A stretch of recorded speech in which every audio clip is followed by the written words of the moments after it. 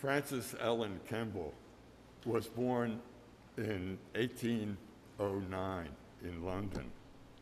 She was a child of one of the most famous theater families in England. Always called Fanny, she grew up in a household where she often visited and was visited by famous actors from home and abroad. Fanny was a supercharged teen, be, beginning li- a lifelong habit of drama, reading, writing poems, and great love of Shakespeare. Her father, actor Charles Kemble, managed the huge Covent Garden Theater. Hmm?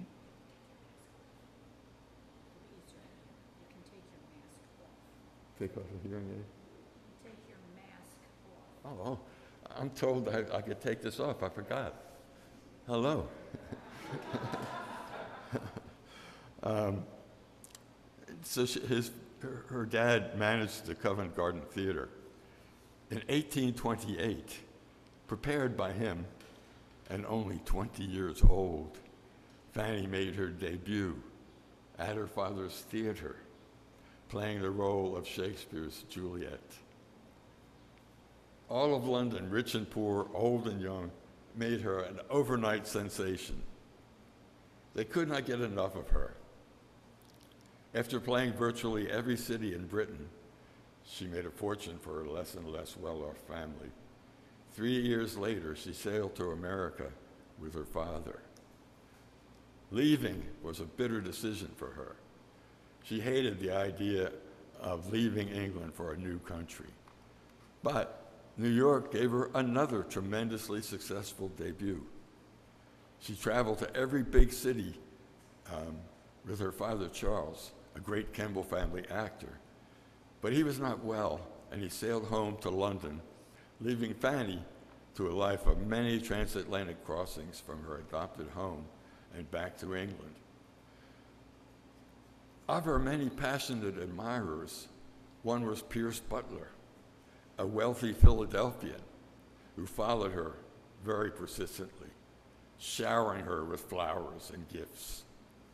She fell in love with him, and in 1842 they were married by Bishop William White in Christ Church. They were both attending the First Unitarian Church of Philadelphia, where they heard the fiery abolitionist sermons given by the controversial minister William Henry Furness. Pierce Butler was a slaver whose family were longtime church members. He sat in the front row opposite Dr. Furness. Fanny's English family had long been opposed to slavery. For all her days as an Englishwoman, her beliefs, so opposed to her husband's, eventually caused the separation of Fanny and, and Pierce. Their final divorce is a long story. Suffice it to say that, to say that in the 18th century, the law gave her, gave to her husband, excuse me, total power over her life, her money, and two infant children. Obtaining a, a divorce took difficult years for, for Fanny. For Fanny. Learning that her husband owned large plantations and hundreds of slaves in the eastern islands of Georgia, Fanny desired to see Butler, to see Butler and St. Simon's Island, where more than 400 slaves were owned by Pierce Butler.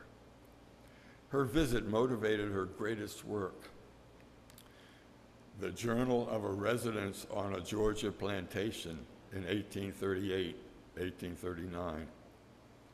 It was held back from publication until 1863, late in the Civil War. Like her two earlier successes in London and New York, the book was widely read and influential. It tells intimately of the months Fanny lived on the plantations with her two infant children and a nanny. After a harrowing trip south by rail and carriage, the moment arrived when she was surrounded by black slaves, thrilled to see her, the child of their master. She wrote of staying in a poorly built house with her two children and poor clothing, furnishing, food, and bedding for her family, often sewn by her. Pierce stayed in a room next door. Compared with the butler's, compared with the butler's relative luxury, hundreds of slave shacks were lived in by slaves owned by Butler and his brutish overseers. The slaves were heavily lashed for failure to do hours working in the fields, while Fanny was given her own slave, Jack, who became her friend, accompanying her on daily explorations of the woods. As at home, she rode a fine horse and wrote prolifically of the lovely flowers and the big snakes that she saw. Slave mothers asked Fanny, Mrs., get me maid. Tell Massa I can't go to the field. I'm sick. Often women had as many as a dozen children, babies, and yet three weeks after giving birth, they faced a lash which drove them back to field work. Fanny wrote, Mr. Butler was called out this evening to listen to a complaint of overwork from a gang of pregnant women. I did not stay to listen to the details of their petition, for I'm unable to command, them, to command myself on such occasions, so am I. and Mr. Butler seemed positively degraded in my eyes as he stood enforcing upon these women the necessity of their fulfilling their appoint, appointed tasks. How honorable he would have appeared to me, begrimed with the sweat and, and soil of the coarsest manual labor, to what he then seemed, setting forth these wretched, ignorant women as a duty. I'm sorry. As duty their unpaid extracted labor. I turned away in bitter disgust. I hope this sojourn among Mr. Butler's slaves may not lessen my respect for him, but I fear it, for the details of slaveholding are so unmanly, let alone every other consideration, that I know not how anyone with the spirit of a man can condescend to them. Rice was a hugely profitable plantation crop.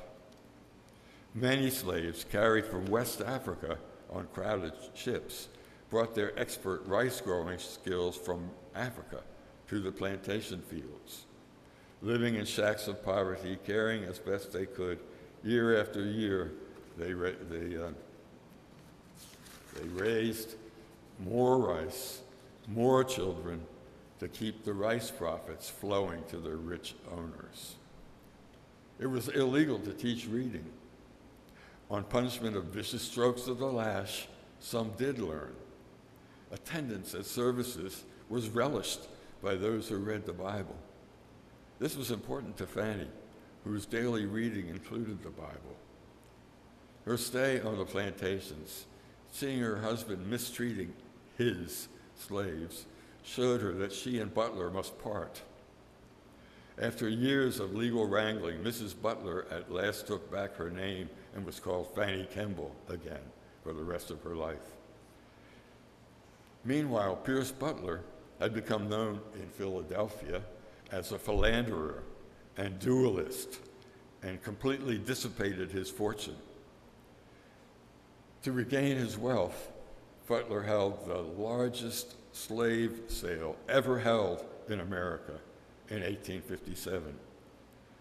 Called the Weeping Time, 450 human beings were torn from their families and sold at a racetrack near Savannah, many never seeing relatives again. Rain fell constantly for the two days of the weeping time. During the years toward their divorce, Kemble and Butler communicated only in letters carried by William Henry Furness, their pastor. They became close friends with the Furnesses and other well known visitors to their house seven miles north of Philadelphia. Once Fanny brought a basket of flowers and cucumbers to Mrs. Furness. One of their wonderful and close friends was William Ellery Channing, one of the great early leaders of the Unitarian Church. Ralph Waldo Emerson was like, like an uncle to their children. As she became older, she gave very popular readings of her many favorite Shakespeare plays again. In 1873, she and Henry James became fast friends and traveled Europe and America together. He was with her to the end. Fanny died in 1893 and is buried in Kensal Green Cemetery in London. Hi, I'm Reverend Hannah Capaldi. And I'm Reverend Abby Tennis. We are the ministers at the First Unitarian Church of Philadelphia, where our mission is to awaken love and justice in our lives and in the world. We're so grateful that you watched, and we hope that the sermon connected with your soul.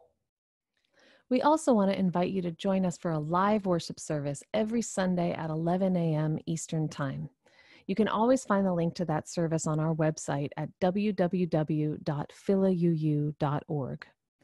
In these services, you'll hear words like you've just heard, and you also get a chance to greet one another, pray together, sing together, and we even hold a virtual coffee hour after services to get a chance to greet some new and old friends. If you want to support the mission of this community and you feel moved to give, you can do so by going to the website that Reverend Abby just mentioned. You can find that link below, or you can text 215 709 5095 and follow the prompts to give.